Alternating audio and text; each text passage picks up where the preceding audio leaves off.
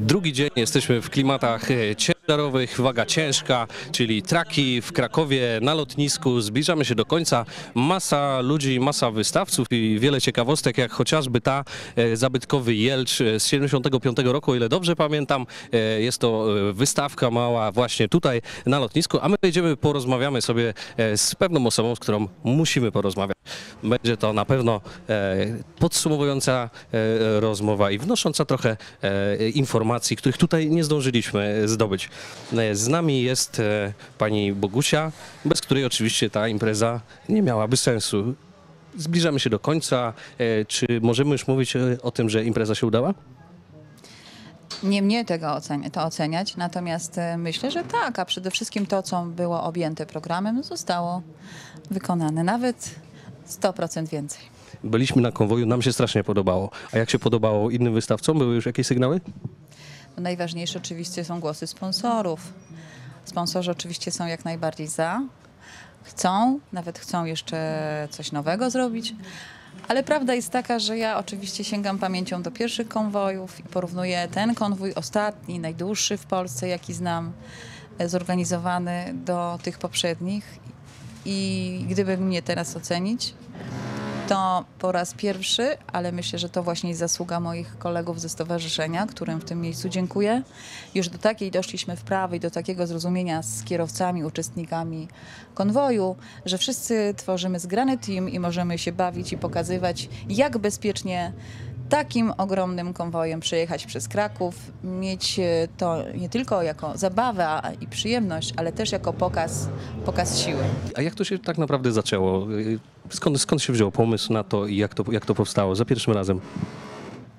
Polski Tracker jest czasopismem, które jest dla kierowców, jest o kierowcach dla kierowców i środowisko właśnie to, to właśnie kierowcy, nasi czytelnicy. Chcieliśmy się z nimi spotykać, chcieliśmy się integrować, chcieliśmy zdać ich zdanie, e, chcieliśmy po prostu być blisko I- muszę powiedzieć, że jak, inne, jak żadne inne czasopismo, właśnie to już od 20 lat ćwiczymy, tak, mówiąc takim językiem. E, Udaje nam się to, udało nam się stworzyć klub, klub fanów, właśnie tych, którzy przyjeżdżali ze swoimi rodzinami na nasze e, imprezy. Z czasem ten fan klub został stowarzyszeniem, czyli już organizacją pozarządową, ogromną, największą w Polsce kierowców zawodowych, ciężarówek i autobusów. No i dzięki temu mamy grono fanów zawodowców. My też jesteśmy zawodowcami, praktycznie większość z nas ma prawo jazdy zawodowe, więc jakby to jest nam nie obce. Tak również ich rozumiemy i staramy się im pomagać jak tylko możemy. To święto albo to spotkanie to wyjątkowe święto dla nas wszystkich, dlatego, dlatego e, chcemy, żeby wszystkim w pamięci zostało na długo i wspominali, jeśli nie dwudzieste, to żeby tak jak ja przypominali sobie pierwsze, drugie, trzecie, piąte, dziesiąte, tylko po koszulkach widzę, że to już tak dużo. A tak jakbyśmy mieli porównać, e, jak to się rozrosło, pierwsze do właśnie do 20, e, jakie, jakie są różnice? Pierwsze było spontaniczne. spontaniczne. Braliśmy udział e, w zlocie w Chruścinie Opolskiej. Przyjech- e, byliśmy wtedy bardzo młodziutcy, bo mieliśmy tylko jeden miesiąc działalności, więc bardzo, bardzo pojechaliśmy na, na tamto spotkanie. I uznaliśmy, że kurczę, no właściwie Kraków jest takim środowiskiem, bardzo dużo firm tutaj działa, środowiskiem transportowym. I zrobiliśmy, skrzyknęliśmy się e, i z kolegami przyjechaliśmy w konwoju około 20 ciężarówek na e, miejsce dawnego urzędu, znaczy teraz Urzędu Pracy, a dawniej to był taki duży plac. Bawiliśmy się super. Te imprezy bardzo, bardzo długo były imprezami jednodniowymi, więc muszę wam powiedzieć, że jak patrzę na tą imprezę teraz i porównuję, to tak troszeczkę jest mi nie tylko żal, ale jakby widzę, jak moja załoga się świetnie, świetnie wyrobiła. Wyobraźcie sobie, że przyjeżdżaliśmy o 6 rano, to składaliśmy imprezę raz, dwa, trzy, potem ruszał konwój, konwój przyjeżdżał, bawiliśmy się, były koncerty, dla, konkursy, koncerty i zabawa. O godzinie 20 ogłoszenie wyników, wręczenie pucharów i jazda do domu. Jeden dzień, jeden dzień trwała ta impreza. Na tę imprezę przyjeżdżało coraz więcej ciężarówek.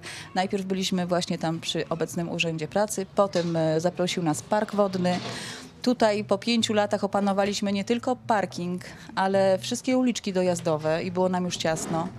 A wcześniej jeszcze w Nowochódzkim Centrum Kultury, tam też nam było za ciasno. Aż wreszcie otwarto lotnisko, po- uporządkowano ten pas i mogliśmy się tutaj wynieść. A wtedy zaczęliśmy robić już kilkudniowe imprezy od piątku do niedzieli. W piątek zwykle robiliśmy zamknięty, tylko dla nas, dla klubowiczów, rodzinne spotkania, takie tam różne torty, nie torty.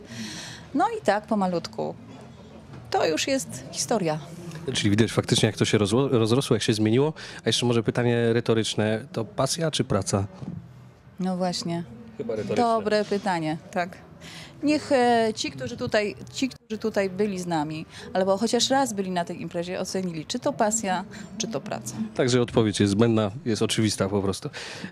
Mm, Jak możemy podsumować e, mniej więcej? Czy, czy jest Pani zadowolona z, z tego, co właśnie tutaj się dokonało osobiście? Powiem tak. Na już na teraz bardzo cieszę się z konwoju, z zachowania kierowców, z mm, przystosowania się do regulaminów, które niestety obowiązują każdą imprezę masową, a nas szczególnie, jako że na tej imprezie już mamy bardzo dużo gości, którzy nas bardzo obserwują i czekają na nasze błędy. Mm, Więc mogę powiedzieć już, wiem już po ocenie policji, że konwój był wzorowy i że chcieliby zrobić następny. Natomiast my y, chyba już nie będziemy robić takich dużych konwojów przez Kraków. Jeśli chodzi o, bo pytasz o całość, jako człowieka, który pisze pierwszy papier w tej sprawie i zamyka segregator, a właściwie dwa segregatory już, to będę wiedzieć, jak zamknę budżet tak, No to jest i segregator. Ale wstępnie możemy powiedzieć, że się udało, jesteśmy zadowoleni, tak nam się na pewno podobało i chętnie, jeżeli oczywiście nie uda się to, co, to, to, to, co słyszeliśmy, czyli ostatnie, że to jest ostatnie spotkanie, chętnie byśmy kiedyś to jeszcze raz zobaczyli.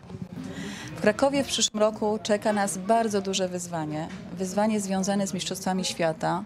To jest ogromne przedsięwzięcie e, logistyczne i organizacyjne oczywiście, które musi, e, któremu musi sprostać stowarzyszenie, czyli organizacja poza- pozarządowa, czyli ludzie, którzy pracują wolontaryjnie, społecznie, czyli robią wtedy, kiedy mają czas.